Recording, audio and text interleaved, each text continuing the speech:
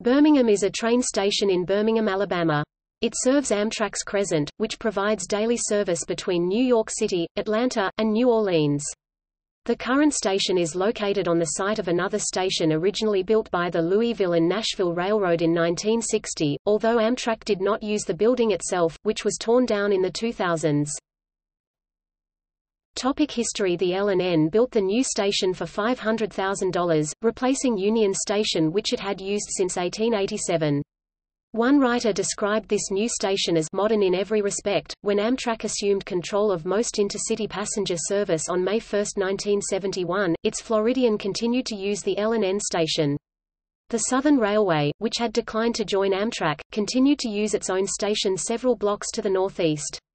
On February 1, 1979 the Southern Railway conveyed its passenger service to Amtrak and the Southern Crescent, shortened to Crescent began serving the ex-L&N station as well. Amtrak discontinued the Floridian in October, 1979 but the Crescent has operated uninterrupted ever since. Between 1989 to 1995 Alabama funded a Mobile Alabama section of the Crescent named the Gulf Breeze.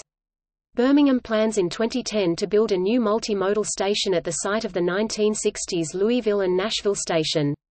It will connect to the current station which will be reconfigured for access to the platforms.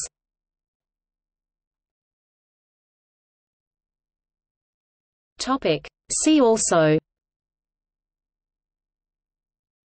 Birmingham Terminal Station, a separate passenger station in use from 1909 until it was demolished in 1969.